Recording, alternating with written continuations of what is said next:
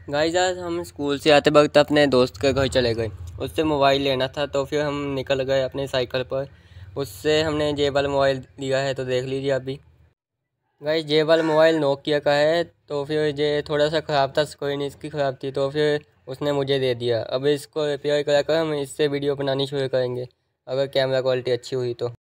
So guys हम घर पर आकर वीडियो एडिट करने लग गए। तो गाइज़ मिलते हैं हमारे नेक्स्ट ब्लॉग में, तब तक के लिए गुड बाय